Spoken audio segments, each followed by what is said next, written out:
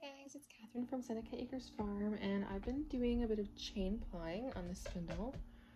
So that's what it looks like when it's done and that is at the bottom there my single.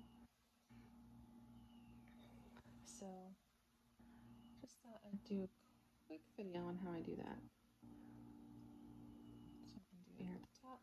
So this is all just my single ply.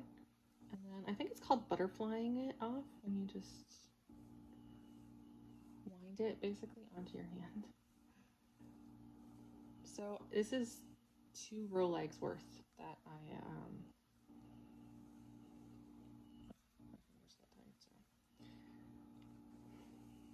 that I spun for this.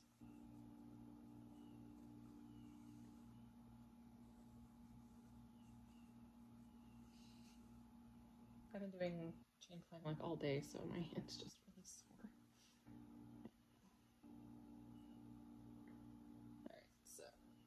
Have my loop at the top.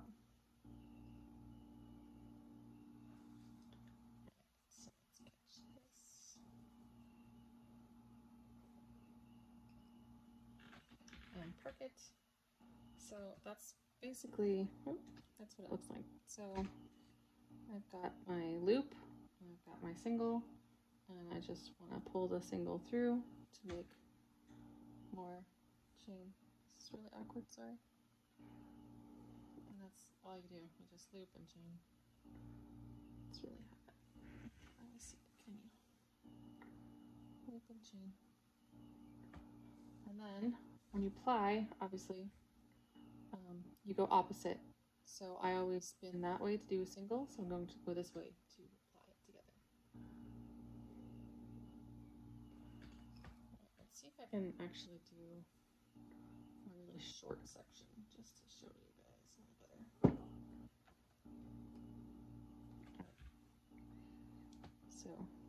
chain through. So it's like that. And spin it the opposite way.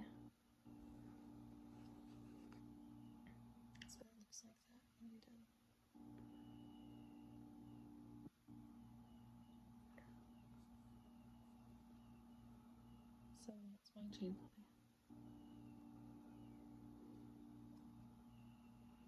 That's that's it. That's all it is. So you just pull the single through the loop. Keep going. Spin backwards.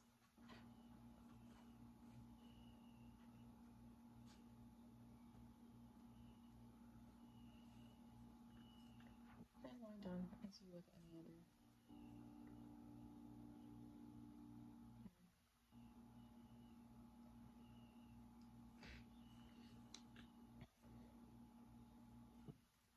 That's why I only do two rolags though, because it gets really, really tiring after a while.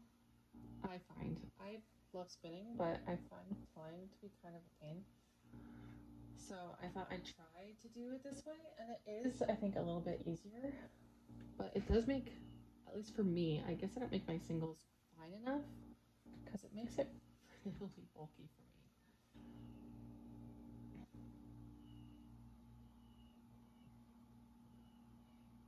Alright, so there we go. I'm at the So I'm just to wrap it on.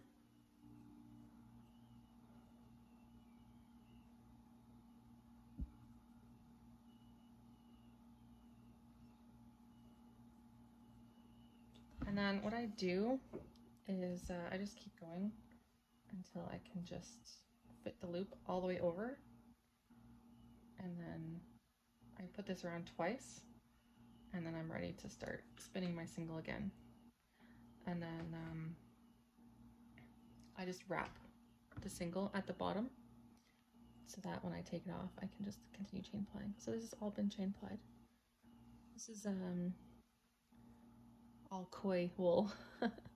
so it's really, really pretty. It's not super soft. Um, it is rather a little picky and hairy, so I think it'll be really great for like outerwear, like a sweater, um, but uh, not ne like next to Skin Soft, but uh, it's still, in my opinion, very, very pretty. So yeah, so that's how I chain ply. So that's ready to keep spinning again for some single. So yeah, that's that's it.